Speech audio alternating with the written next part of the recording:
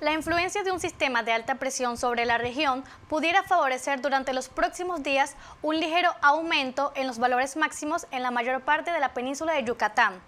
informa la Comisión Nacional del Agua a través del Servicio Meteorológico Nacional. Por lo anterior, se recomienda a la población tomar las precauciones necesarias por las altas temperaturas que se presentarán durante los días siguientes, especialmente entre las 12 y 16 horas, que es el lapso de mayor radiación solar. De acuerdo con los pronósticos, para este jueves se esperan temperaturas máximas de entre los 35.0 y 39.0 grados Celsius en Yucatán y Campeche, así como entre los 33.0 a 37.0 grados en Quintana Roo. Para el viernes se pronostican temperaturas máximas de entre los 35.0 y 39.0 grados Celsius en Yucatán,